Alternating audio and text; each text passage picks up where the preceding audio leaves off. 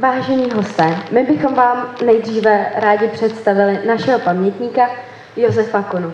Joeho, jak ho zná okolí. Joe vyrůstal ve Velkých Hamrech a v dospělosti působil hlavně tady v Tanvaldě.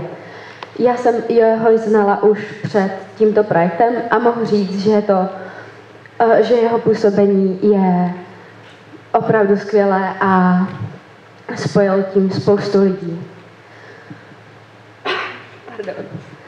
Um,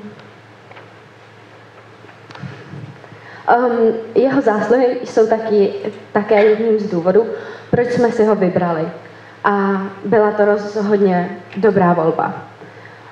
Kdo z Tanvalďáků a z blízkého okolí by neznal zálesáckou klubovnu Tom, kterou, na které je vlastně pomalu nechal své ruce a leží nebo nachází se nedaleko Tanvalské rozhledny, eh, rozvodny. Pardon. Právě v klubovně se na podzim minulého roku uskutečnil náš rozhovor a můžeme říct, že Joe byl a stále je velice pozitivní člověk, což jsme v průběhu rozhovoru měli tu možnost uh, poznat.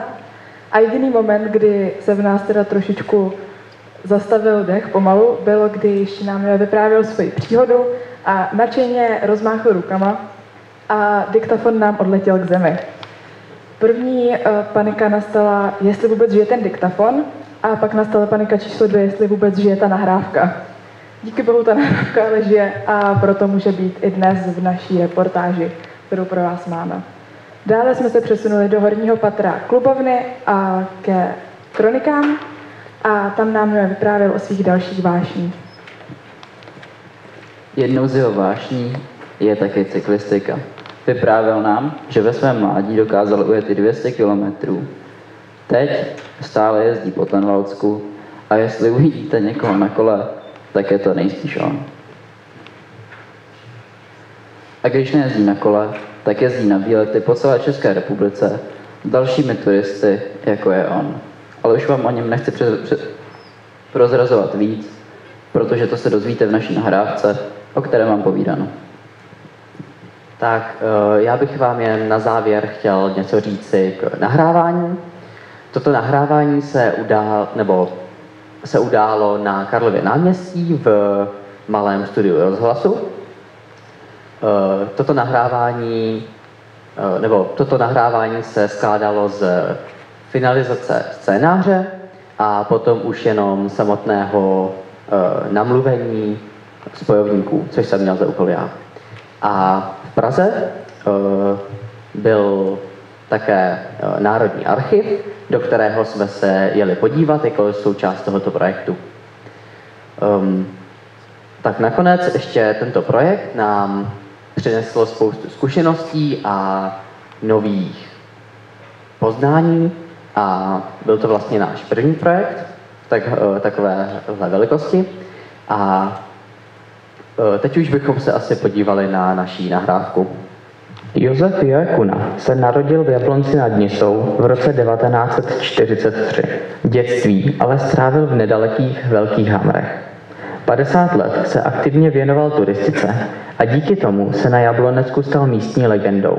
Po celý život rozdával radost všude kolem, a to i přes nepříznivá historická období. Jedny z prvních vzpomínek má nakonec války. Já si pamatuju přesně, jak byla nějaká, nějaký průvod šel, hojem jdeme ven, tak tě máma držela v náruči, jo, tak jsem tam koukal, jak chodí nějaký Vůbec jsem to za armádu a nějaký vojáci šli, ale žádný nadšení, žádný volání sláva nebo nic nebylo.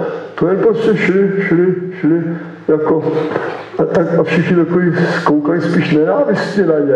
To jsou vzpomínky dvouletého děcka, představte si to. Od doby, kdy viděl vojáky, uběhlo pár let a Joe nastoupil na vojnu. Tam ve svém volném čase vymýšlel hry a úkoly pro děti z okolí.